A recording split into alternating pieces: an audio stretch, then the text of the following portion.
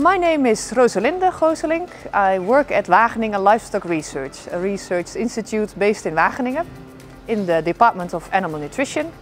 We're now at Dairy Campus, our research farm, our dairy research farm based in Leeuwarden.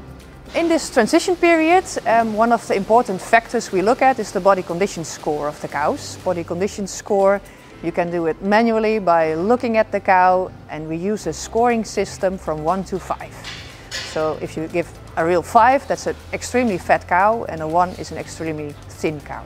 At dry off, we aim at a body condition score of approximately 3 to 3.5 um, because if cows are too fat, there is a risk for uh, transition disorders, for metabolic disorders at the start of their new lactation. By uh, measuring the body condition, we ha have an indication of the amount of fat tissue, amount of adipose tissue in the cow.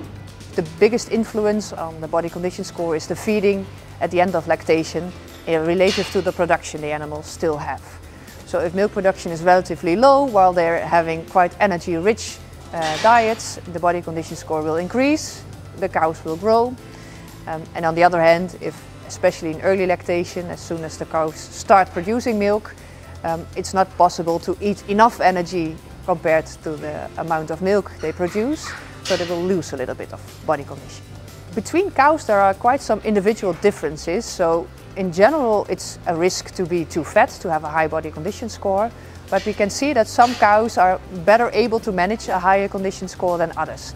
So some cows have a better capacity to handle a higher body condition score than others.